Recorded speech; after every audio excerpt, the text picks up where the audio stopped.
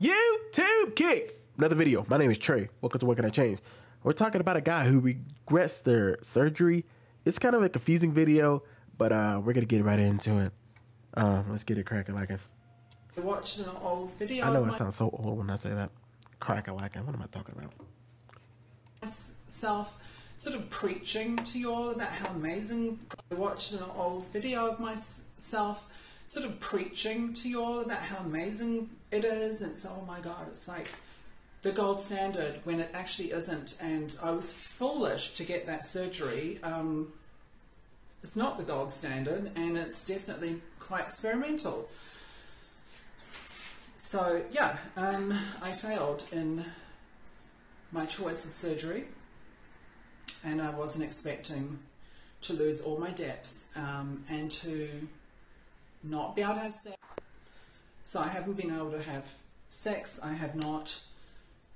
I've been a bit of a two-dimensional um, cardboard cutout almost for the last almost year.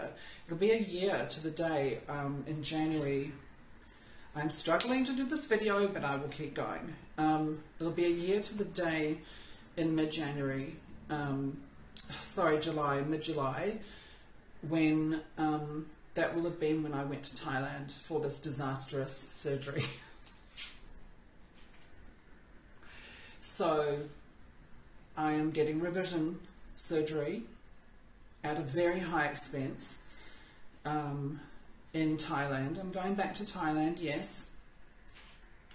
And I am going for the sigmoid colon option because it's all I've got. It's my only option um, for revision.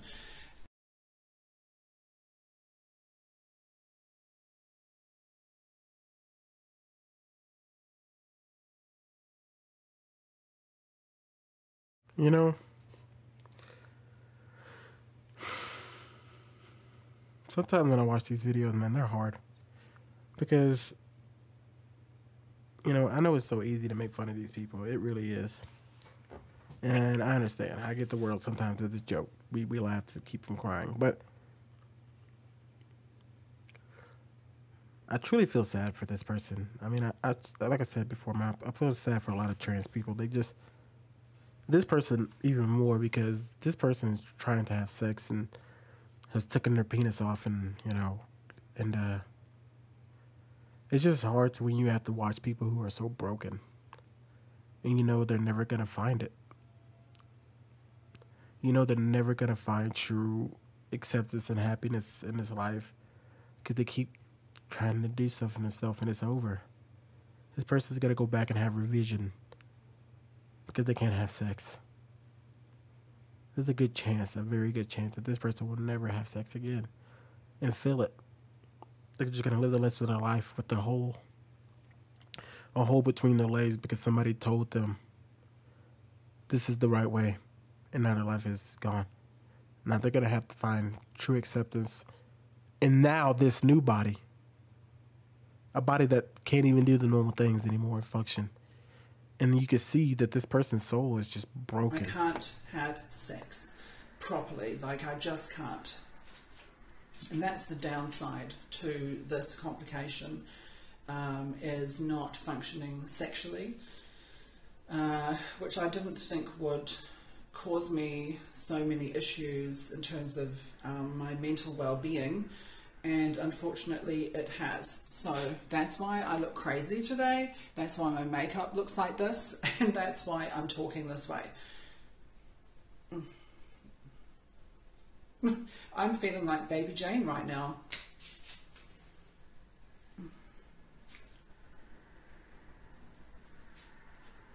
So that is the fact of the matter.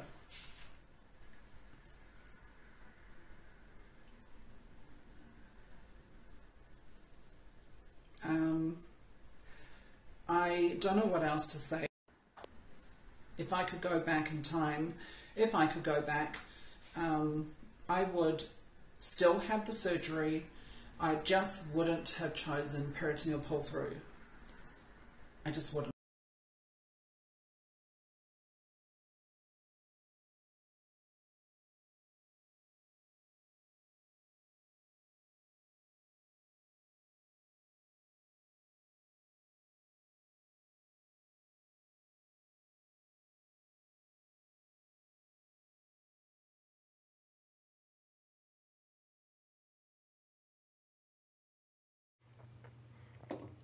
It's just sad, man.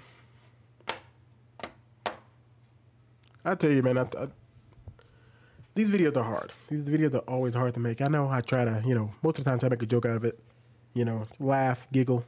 Um, and, you know, the person in the thing, y'all can see over to the side that says the creepiest part of this video is he gets lost in admiring his own reflection. That's because he's broke, snapped. It's all, it's like, what a life to live. Not in just complete delusion, but to live a life of knowing that people are just watching this person break down and mentally.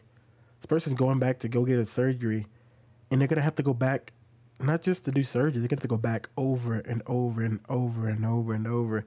Because these experiments and these surgeries are just evil. And these people don't give a dang. They don't care whose life they ruin for money. And now we just gonna sit here and make fun of this dude because he's it's gonna probably gonna be years and years of therapy to get him back to normalcy. And not only does he have to do that, he has to. He can't make videos. He makes videos like this, he's gonna get clowned every time, unless he was to come out and say, "I'm truly struggling."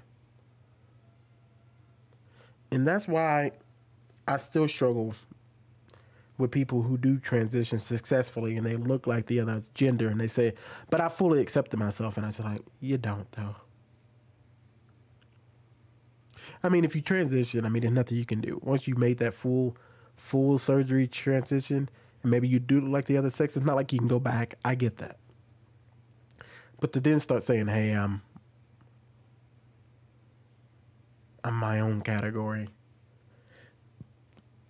You think a trans woman can ever go back and say, "I know I look like a woman to you guys, but I'm a man," and all I can do is try to live my life like a man the rest of my days but I'm gonna always look like a woman. But I am a man. You know, I don't see that. I see a lot of trans women. Um, eventually, when they do accept that they are not a woman, they'll say, "I'm not a man, either. I'm a trans. I'm a trans woman." It's like, once again, you you separated yourself. You'll never be truly accepting.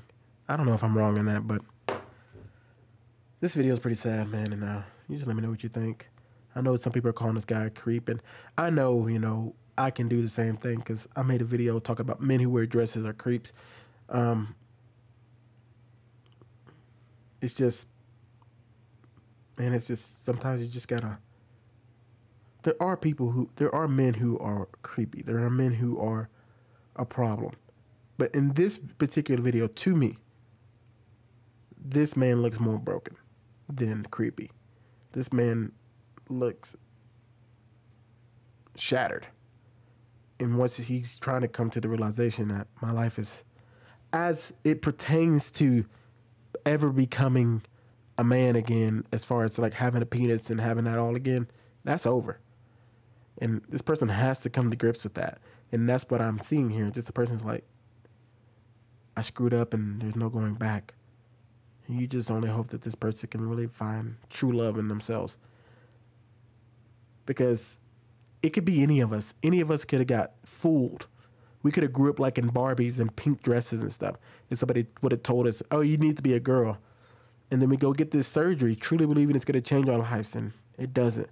And then we be sitting here, knowing that what what made us who we really are is gone forever. And now we gotta go through years and years of trying to figure that out without wanting to take our own lives, without wanting to try to take your life. That's hard, man. Anyway, thank you guys for watching this show, man. Sorry, I got a little emotional, but that, that video was hard for me. It was sad. Hope you have a great night. Enjoy yourself. Happy 4th of July. I will be live streaming for the 4th of July. So I will see y'all there. Um, y'all have a great night. Be blessed. Peace.